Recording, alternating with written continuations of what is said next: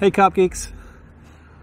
Well, kind of a special one. I'm going to kind of show you how to get this Gladius mini submarine up and running. Okay, so if you've ever considered chasing fish around with a submarine, I highly recommend this one. It's called the Gladius Mini. Been using it for quite a while. Maybe I'll link to some footage. But this is how you actually set the thing up. Okay, so uh, bear with me as I kind of I'll probably speed up the film as you go through. You don't want to see all the all the boring bits, right? But um, we'll go through. So the submarine itself is provided in a nice backpack. In the backpack, well, this is mine. I like to kind of watch the video on a on a tablet, which comes, you know, you have to install the, the software. In here we find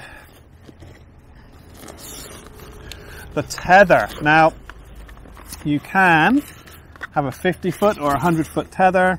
I went for the 100 foot, of course. Okay, so 100 foot tether.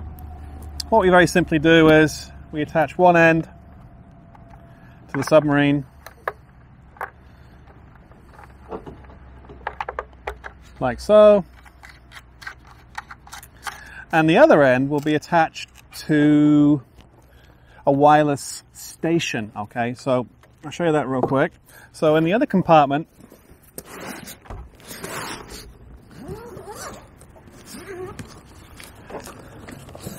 We have this like wonderful little box of goodies. Okay, put them there.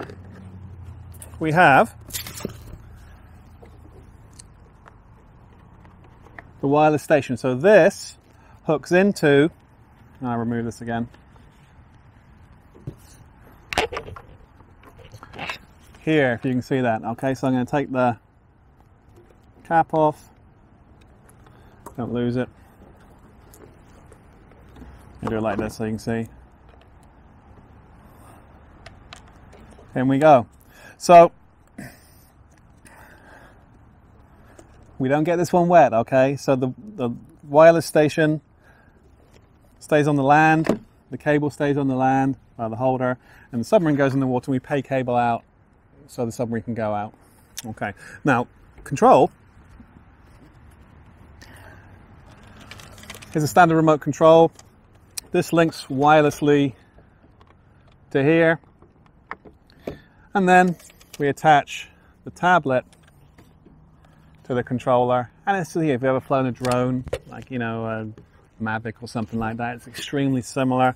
The controls are essentially identical. So when you rise up with a drone, you can bring the submarine up, you can sink.